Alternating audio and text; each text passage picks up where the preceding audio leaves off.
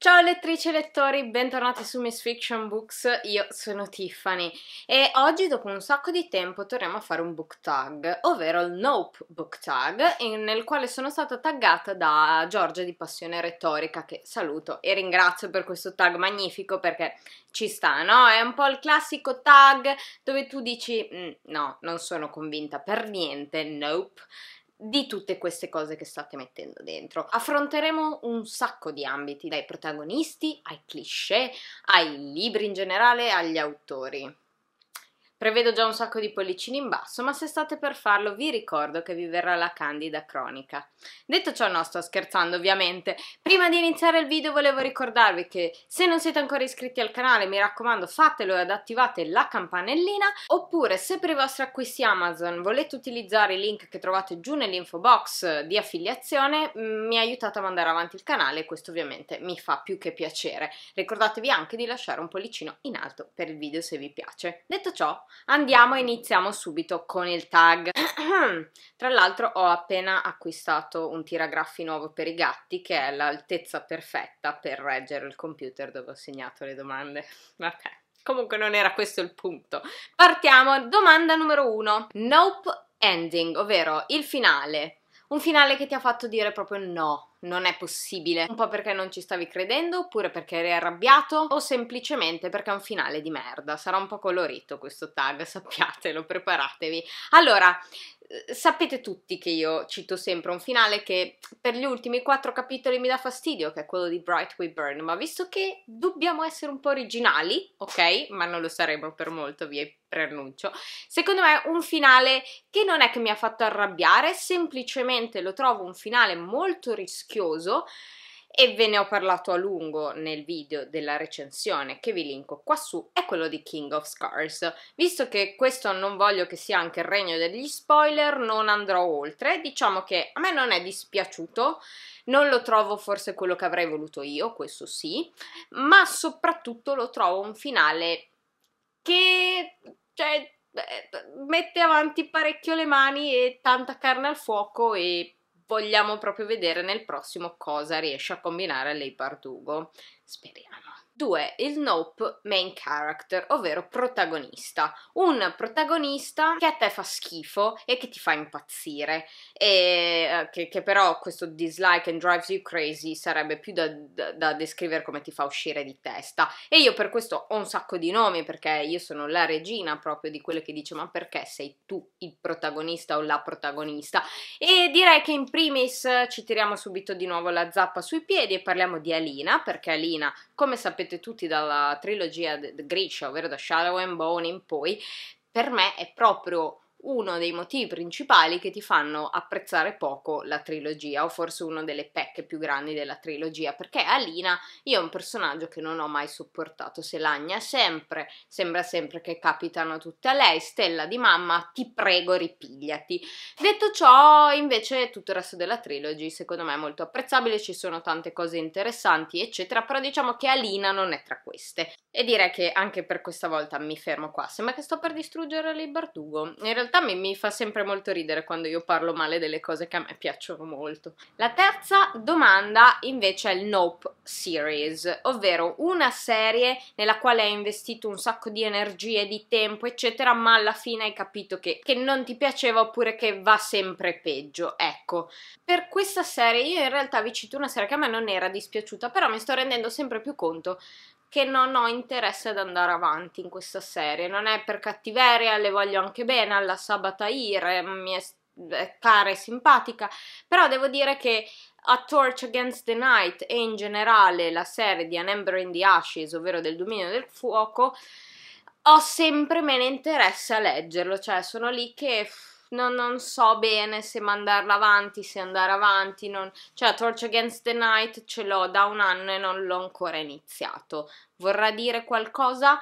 Diciamo che è una serie che avevo letto molto leggera, in maniera molto leggera, senza approfondire troppo. E nonostante il secondo mi fosse piaciuto più del primo, devo dire che non è mai stata una serie scritta mh, mm, così bene da proprio investirci grande tempo. E quindi ora che è passato un po', non mi ricordo tante cose Uh, non lo so, non ne ho voglia, la continuerò, non ne ho idea, non, cioè, boh, no? Arriviamo alla domanda numero 4, quella che tutti stavate aspettando, ovvero Nope Popular Pairings, ovvero le coppie famose. Una ship che tu non supporti. E qua apriamo, apriamo proprio delle, boh, delle voragini, ok? Beh, eh, che dire, io non supporto praticamente nessuna relazione di Sarah J. Maas, in particolare Eileen e Rowan, che li trovo eh, raccapriccianti, mh, mm, proprio, eh, vabbè, poi parleremo dopo di Rowan purtroppo, eh, come Fair e Resand, perché Fair è un personaggio orribile e Resand ha un leggero problemino di manipolazione mentale, e altre coppie che odio sono ovviamente Jace e Clary, sono, non mi piacciono neanche Male e Alina, insomma Male e Alina non ci piacciono, ma tanto io odio talmente tanto Alina che eh?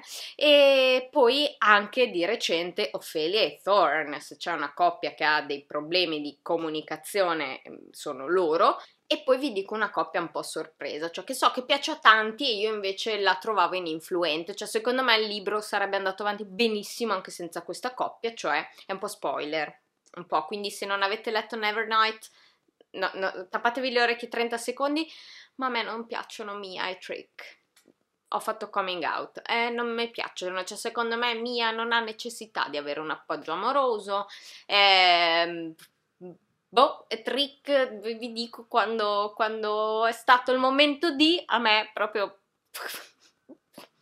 Vabbè, ma comunque non è questo il punto. Andiamo avanti. Sapete che io generalmente sono molto rigida sulle coppie perché secondo me è proprio problematico rappresentare, soprattutto nelle, nei libri per ragazzi, delle coppie disfunzionali, delle coppie che hanno gravissimi problemi di comunicazione, delle coppie abusive che vengono romanticizzate. Questi sono i motivi principali per i quali io fatico a trovare delle coppie che invece a me piacciono e trovo anche sempre sbagliata la rappresentazione di coppie problematiche. 5. A nope plot twist, ovvero un plot twist che non hai proprio apprezzato appieno. E io in realtà, cioè, di questo libro potrei parlarvi del libro intero, ovviamente, perché di plot twist quando sono geniali a me piacciono tantissimo, però diciamo che eh, questo è più un problema di libro, ma soprattutto del plot twist, perché è irrealistico, perché proprio prende le basi che noi conosciamo di questo mondo e di alcuni personaggi e li scaraventa fuori dalla finestra, da se non me frega un niente. E in questo caso sto parlando di Cursed Child, il plot twist che doveva spiegarci tutte le cose che noi, insomma, avevamo, eravamo stati zitti quel, fino a quel momento e avevamo detto sì, è una merda, però magari, boh, si riprende sul finale. Nope, nope, non lo fai, fa anche peggio perché cioè, io spero che voi non lo leggiate mai, quindi ve lo racconto io e se non volete invece gli spoiler, ma tanto non dovete leggere Cursed Child, cioè dovete fare finta che non esista. Comunque, quel plot twist dove sta qua è figlia di Voldemort, cioè, ma no, Voldemort, ma No, quando? Ma non ha senso. Cioè, ma a, a, io ve lo giuro che più penso a quel libro, più vorrei prendere gli autori e sfracassargli il cranio l'uno contro l'altro perché cosa hanno pensato quando lo stavano scrivendo. No, no cioè, vabbè, mi sto già agitando troppo perché quando penso a quel libro mi viene solo rabbia. 6 nope decision, ovvero una decisione presa da personaggi, protagonisti, eccetera, che ti ha fatto proprio dire, ti ha fatto proprio scuotere la testa e dire ma cosa state facendo? E in questo caso, sempre recenti, visto che ve ne ho parlato proprio molto di recente, dico solo, per non fare spoiler, Nikolai, Zoya, Yuri. 7. Nope genere, un genere che odi, non ti piace, non sopporti e non vorrai mai leggere. Allora io devo dirvi che in realtà è dura che io mi tenga lontano da qualsiasi genere, cioè magari ho quelli che non mi piacciono particolarmente, però alla fine sono sempre stata aperta più o meno a tutto. E devo dire che proprio in generale i generi che proprio a me pigliano meno sono il romance, soprattutto perché purtroppo io non riesco a distinguere staccare il romance da tutte le problematiche delle relazioni, dal fatto degli equivoci, le cose non dette, di solito si fondano tutti su questa cosa, poi non è vero, eh, ci sono esempi invece molto migliori, è proprio che solo il romance per me è sempre troppo poco, cioè se c'entra la storia d'amore a me frega niente perché non me ne frega niente delle storie d'amore, cioè se sono inserite per far crescere i personaggi all'interno di una storia che parla d'altro, perfetto, se è solo su quello mi annoia. Altra cosa che io non amo sono i thriller, gli horror, quelle lì, però cioè, non dico che non ne ho mai letti, anzi di tutti questi tre generi li ho letti, non sono il mio, ecco. La domanda numero 8 è Nope Format, ovvero un formato che tu odi o che eviti di comprare perché, mm, non lo so, aspetti sempre che arrivi un altro formato addirittura. Personalmente frego ne merito di, di, del formato, cioè devo dire che eh, tra tutti i formati di libri quello che mi piace meno è il hardback perché è scomodo per me, almeno per me da leggere, però è esteticamente meraviglioso, quindi poi ho degli hardback, anche se poi magari sto prima ho letto il Kindle, ecco. E, no, no, non me ne frega assolutamente niente del formato, l'importante è sempre il contenuto. Domanda numero 9 invece è Nope Trop, ovvero un cliché, insomma una, una formula che tu proprio dici no, ti prego no. Allora, e su questo ovviamente a parte i classiconi, soprattutto legati all'ambito emotivo e l'ambito amoroso, cioè le relazioni, vabbè, solite, quelle che vi dico sempre, ci sono due cose che io proprio non riesco a mandare giù mai. Il primo è il cambiamento del sistema magico, cioè quando il sistema magico viene trasformato e adattato nel corso dell'opera, perché c'è stata una pianificazione di solito un po' becera e quindi ogni tanto abbiamo bisogno di aggiungere, togliere, abbiamo bisogno di contraddirci all'interno della storia, perché no, ma perché poi ho bisogno di questo, quindi aggiungiamo questo, cambiamo questo, ecco. No, io proprio una cosa che odio, odio, odio. E poi in generale il tipo di scrittura che io vorrei veramente diventare violenta quando, si, quando avviene all'interno dei libri, ma non posso perché al massimo me la posso prendere con la carta, è tutto quel tipo di scrittura che racconta, racconta, racconta e non mostra mai, o se mostra, mostra esattamente il contrario di tutto quello che ti ha detto, che è una cosa che me infastidisce moltissimo perché raccontare e non mostrare mai significa che sì, ok, ce la stiamo dicendo, ce la stiamo raccontando, ma fammi vedere, fammi effettivamente vedere come avvengono queste cose.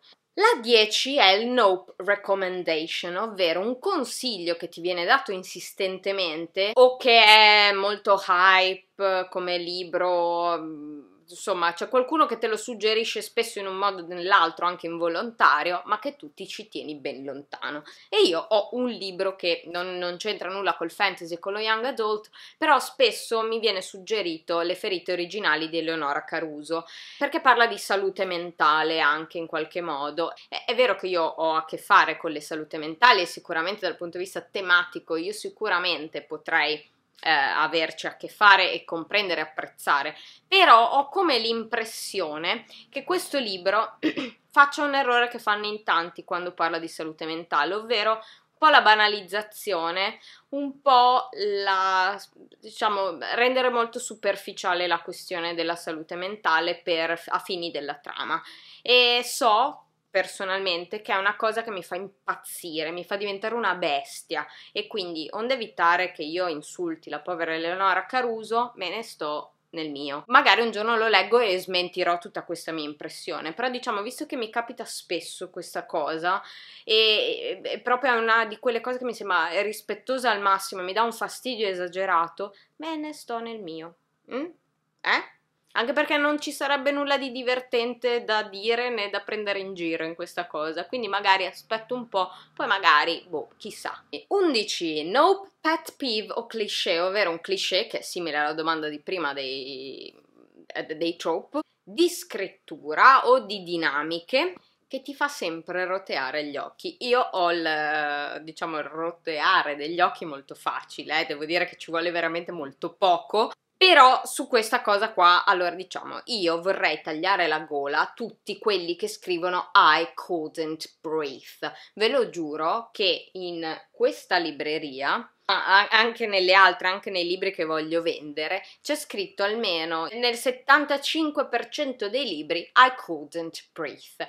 Cazzo, io capisco, però vi potete impegnare a scrivere un'altra frase quando qualcosa vi coglie di sorpresa, quando uno è buono, quando non lo so, non, non sapete cosa fare, quando siete in ansia, quando siete in pericolo. Vi prego, cioè, non potevo respirare. Io non lo voglio mai più leggere, ve lo giuro, voglio eliminare quella frase da tutti i vocabolari. E poi una cosa che proprio io non sopporto, proprio impazzisco e massacro i libri, proprio li massacro se lo vedo, è, il, è, lo stereotipo dello strong female character, che non vuol dire un personaggio femminile forte, vuol dire proprio strong female character, che è un tipo di personaggio che per sembrare fo- una donna forte, un, una, ho le palle, rappresenta, raccoglie su di sé tutto il peggio del maschilismo e quindi rappresenta un modello apparentemente emancipato ma che in realtà replica il peggio del maschilismo. E questo io lo vedo succedere spessissimo, è raro trovare qualcuno che esce da questo stereotipo a livello femminile, ce ne sono tanti, ad esempio Mia Corvere è una che prende spunto dallo strong female character ma poi si distanzia perché è una persona umana, uh, c'è Lada di And I Darken, che ad esempio è proprio un personaggio molto a sé stante, che non replica queste cose, perché è proprio a parte, non è che poi cede. Ad... E lo strong female character è qualcosa che io, ve lo giuro, divento violenta anche in questo caso. Il 12 è il nope love interest, cioè ovvero un, un, interesse amoroso che non ha alcun motivo per esserlo, cioè diciamo un personaggio che tu pensi che non avrebbe mai dovuto rappresentare un um, personaggio di interesse. E qua riprendiamo quello che vi dicevo prima.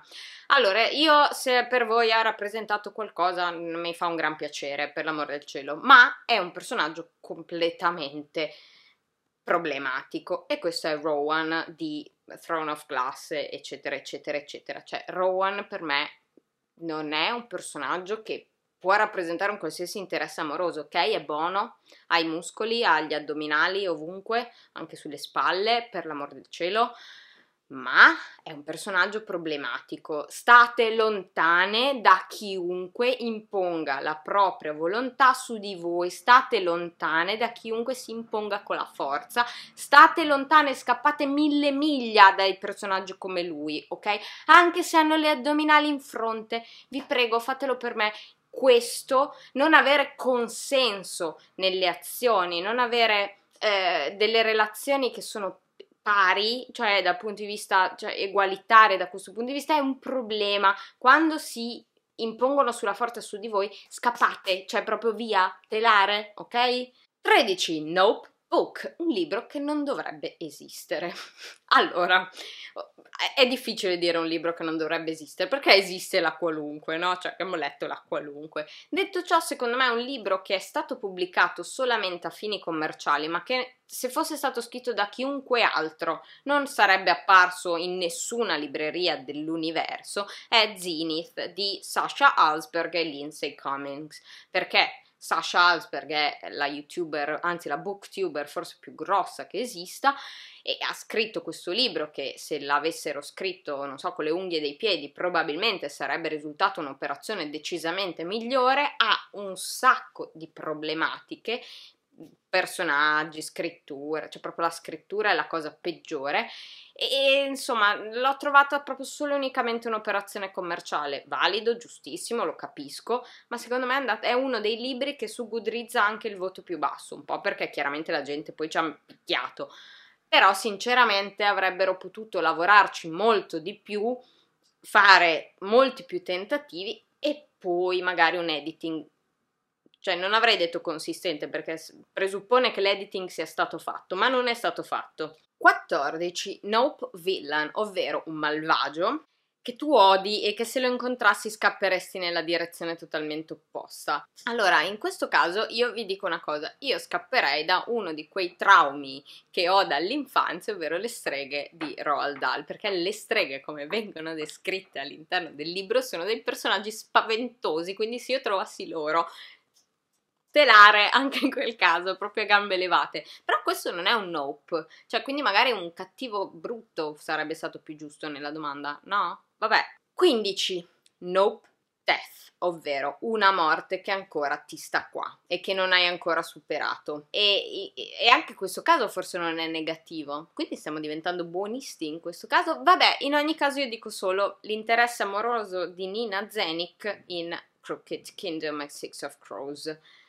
Io purtroppo, cioè, a Nina le voglio così bene e poi ho appena letto di tutto il trauma successivo, il loot, cioè, povera Stella. Però ripeto quello che dico sempre, le morti fanno bene all'interno del libro, le morti ci devono essere, ok? Mettetele. Poi io soffrirò, ma sì, mettetele. E l'altra che secondo me è veramente il punto più straziante, già nell'Iliade chiaramente, ma quando nella canzone di Achille, cioè Patroclo muore. No, ma io penso di non aver mai pianto così tanto leggendo delle pagine, cioè proprio una cosa che ti, ti strappa tutto quello che hai dentro. È, e Madeline Miller è brava, è bravissima, è proprio brava un bel po'.